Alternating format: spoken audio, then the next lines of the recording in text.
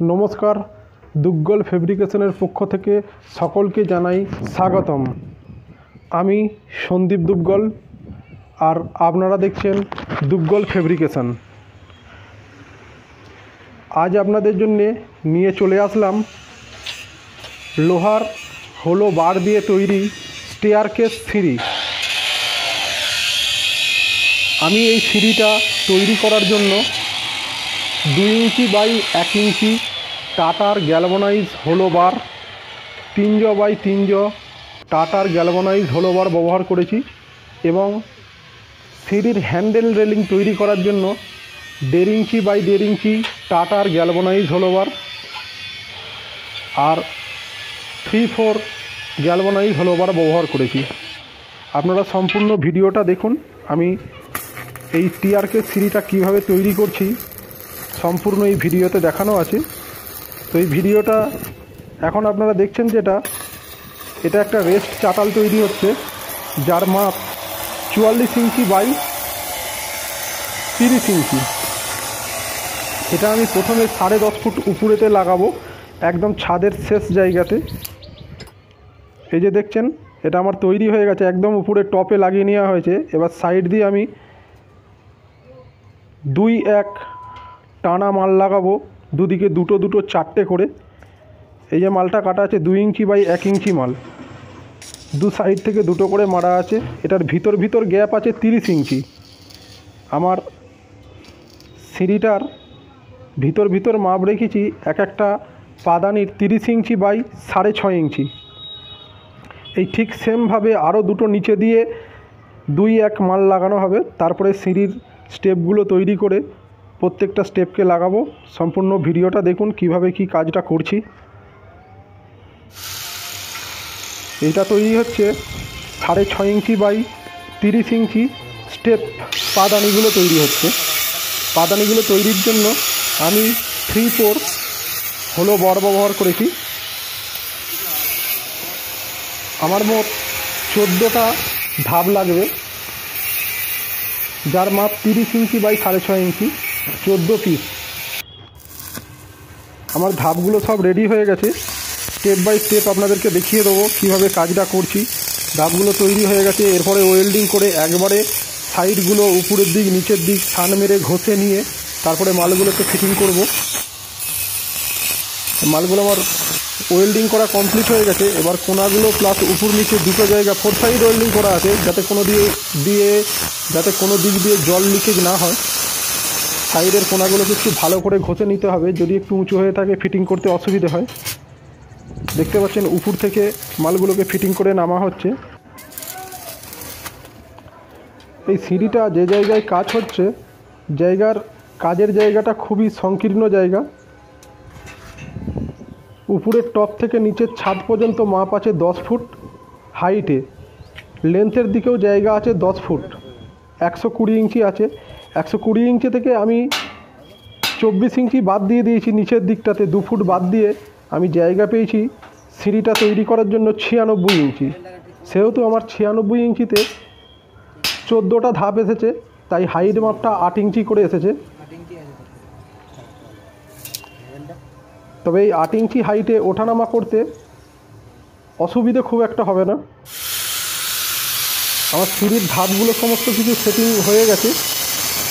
এবার সাইডের হ্যান্ডেল রেলিংটা তৈরি হবে। হ্যান্ডেল রেলিংয়ের জন্য আমি আগেই বলেছি, দেড় বাই দেড় টাটার হলো বার ব্যবহার করছি। আপনারা দেখতেই পাচ্ছেন, দেড় বাই দেড় টাটা হলো বার। দুই এক মালটার সঙ্গে একবারে ওয়েল্ডিং করে দেওয়া হয়েছে। এবার এই মিডিল দিয়ে থ্রি ফোর একটা করে লাগানো হবে।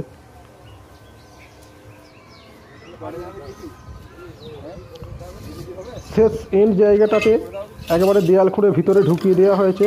পরে কাজের শেষে ওটাকে জাম করে দেওয়া হবে সিমেন্ট বালি মেখে। এই মালটা এবার সম্পূর্ণ ওয়েল্ডিং করতে হবে। ওয়েল্ডিংয়ের কাজ শুরু হয়ে গেছে। সম্পূর্ণ জায়গাগুলোকে ফোর সাইড ওয়েল্ডিং করার পর সান দিয়ে ঘষে নিতে হবে।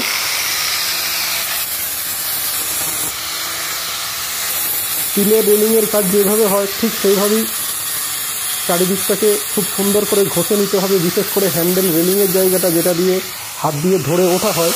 সেই জায়গাতে যদি কোনো চর বা খোঁচা থাকে, উঠতে গেলে হাতে লেগে যাবে বা হাত কেটে যেতে পারে। এটাকে খুব সুন্দর করে ঘষে নিতে হবে ওয়েল্ডিংয়ের জায়গাগুলো। আমার এই সিঁড়িটা তৈরি করার জন্য মোট একশো ষাট কেজি টাটার হলো বার লেগেছে। আমি গ্যালবনাইজ মাল দিয়ে কাজটা করার জন্য একশো আশি টাকা করে কেজি নিয়েছি। একশো আশি টাকা হিসাবে একশো ষাট কেজির দাম হয়েছিল আঠাশ হাজার আটশো টাকা আর দু হাজার টাকা ফিটিংস মজুরি নিয়েছি। আমি আগেই এক কোট পাইমার রং করে রেখেছিলাম। এখন সিঁড়িটার সমস্ত ফিটিংসের কাজ, ওয়েল্ডিংয়ের কাজ, ঘষার কাজ, সমস্ত কিছু মিটে গেছে। আবার এতে দু কোট পাইমার রং করে দেবো। কারণ যে সমস্ত জায়গাগুলো সানা হয়েছিল বা ঘষা হয়েছিল, সেই জায়গার রঙগুলো উঠে গেছিল। সেই জন্য আবার দু কোট করে পাইমার দিয়ে দেবো যাতে ওই জায়গাটাতে মরিচা না আসে বা দেখতেও জায়গাগুলো যাতে খারাপ না লাগে। সেই জন্য দু কোট করে পাইমার করে দেবো। সিঁড়িটা আমি সমস্তটাই ঝুলন্ত হিসাবে করেছি। নিচে থেকে কোনো স্ট্যান্ড বা নিচে ছাদের জায়গাটা কোনো রকমভাবে নষ্ট করিনি, যার জন্য নিচে থেকে আমি দুটো ঠেক তুলে রেখেছি, যাতে সামনের দিকে কোনো রকমভাবে দোল না থাকে। এই যে নিচের যে জায়গাটা আমি বললাম আগে, যে আমার সিঁড়িটার হাইট দশ ফুট লেন্থ দশ ফুট, তার থেকে দু ফুট বাদ দিয়েছি। এই যে জায়গাটা ঢোকার জন্য দু ফুট বাদ দিয়েছি, দিয়ে আমি আট ফুট জায়গা পেয়েছি। এই লেন্থটার মাপ হচ্ছে দু দু ফুট আছে, ঢোকার জায়গাটা। আপনারা দেখছেন এই কাজটা কতটা উপরেতে হচ্ছে। সেখানে মালপত্র তোলা, মিস্ত্রি নিয়ে এখানে কাজকর্ম করার জন্য আমি দু হাজার টাকা ফিটিংস মজুরি নিয়েছি। টোটাল কাজটাতে আমার তিরিশ হাজার আটশো টাকা খরচ হয়েছে।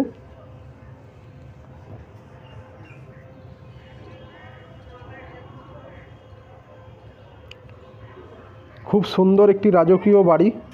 এই বাড়িটাতে আরও কিছু কিছু কাজ টাটার হলো বার দিয়ে করা আছে। এই সিঁড়ির, সিঁড়ি রেলিংয়ের ভিডিওর আশপাশে যে সমস্ত প্যারাপিটের যে সমস্ত গ্রিলগুলো আছে, সেগুলো সবই টাটার হলো বার দিয়ে করা আছে। গ্যালভানাইজ হলো বার প্যারাপিটের গ্রিলের ডিজাইনগুলো করা আছে। এটা নিচের যে দুটো ঠেক, আগেই বললাম, দুটো ঠেল মারা আছে নিচে থেকে যাতে সিঁড়িটা দোল না খায়। আমার ভিডিওটা যদি ভালো লাগে, অবশ্যই একটা লাইক দিয়ে উৎসাহিত করবেন। আর এখনও পর্যন্ত আমার চ্যানেলটি যারা সাবস্ক্রাইব করেননি, তারা অবশ্যই চ্যানেলটি সাবস্ক্রাইব করে পাশে থাকা বেল আইকনটি অন করে রাখুন। তো যেটা বলছিলাম যে আরও আনুষঙ্গিক যে মালগুলো টাটার মাল দিয়ে করা আছে, এগুলো দেখতেই পাচ্ছেন প্যারাপিটের যে গ্রিলগুলো করা আছে, পুরো বাড়ির কাজটা প্যারাপিটের গ্রিলগুলো সবই টাটার হলো বার দিয়ে করা আছে। দেড় আর থ্রি ফোর মাল দিয়ে করা আছে।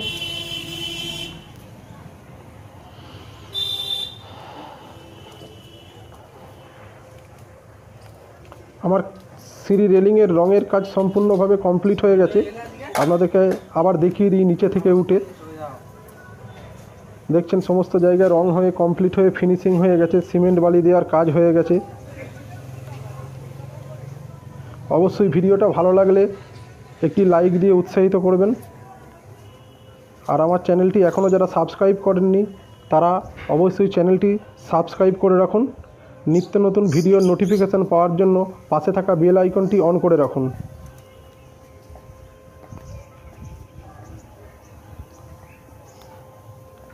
নিচের ড্রেস চাতাল থেকে শুরু করে উপর সমস্ত জায়গা কালারের কাজ কমপ্লিট হয়ে গেছে। সিমেন্ট বালি দিয়ে জাম হয়ে গেছে এবং খুবই মজবুত। আজকের ভিডিওটা সম্পূর্ণ দেখার জন্য অসংখ্য ধন্যবাদ। আবার দেখা হবে আগামী একটি নতুন ভিডিও নিয়ে। সকলকে জানাই অসংখ্য ধন্যবাদ। সকলে ভালো থাকুন। নমস্কার।